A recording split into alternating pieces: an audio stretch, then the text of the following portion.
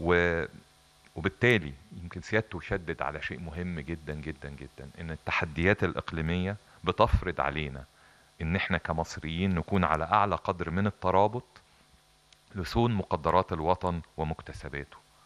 وده شيء مهم جدا وسيادته دايما بيأكد عليه طول ما الجبهة الداخلية متماسكة والمواطن على وعي كامل وشديد باللي بيظهر قدامه واللي بيحاك في المنطقة كلها وبنشوف كدولة إحنا هدفنا كله الحفاظ على مقدرات الدولة المصرية ده شيء ده الأهم ده أهم شيء لينا كدولة في خلال هذه الفترة وهو ده هيبقى مفتاح الأمان لاستقرار الوطن.